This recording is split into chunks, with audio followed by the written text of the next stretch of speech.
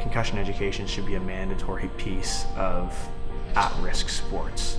My dream growing up was, was to play in the NHL. I grew up in a hockey household.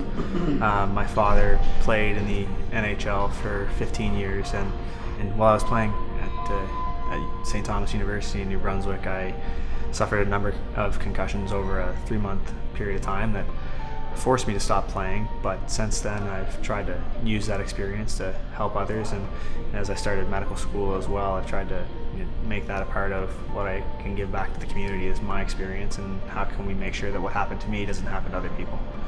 So there's five of us that started this group, and we've become almost like family over the last year and a half, two years. We were lucky enough to be part of this, uh, the new medical curriculum here, which has dedicated blocks for an independent project.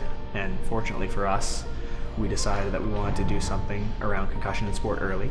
We decided that we wanted to make a group dedicated to educating athletes on concussions. We came up with the, with the name Concussion U, um, so we reached out to every midget AAA and Bantam AAA team in the St. John's area and actually presented to them um, earlier in their season.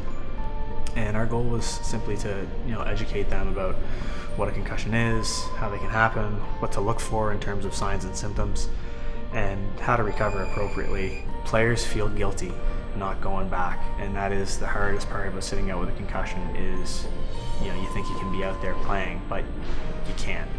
The thing about recovery is it's different for everybody. You'll hear a lot of times that the athlete's out for about a week because they had a concussion, and that's because that's the usual time frame for recovery. The key is is that recovering properly can prevent some of those long-term um, complications from happening. So if you, if you try to go back too early and you get hit again, well then you are at risk for a longer recovery than if you would have sat out the appropriate amount of time at first. For us, the most important thing is to get kids to realize if they do have an injury that they have to recover properly. You're going to be a person a lot longer than you're going to be a pro hockey player or a pro football player or any of those sorts of things. There comes a point in time when you have to look at what your future is going to be like if you're sustaining head injuries.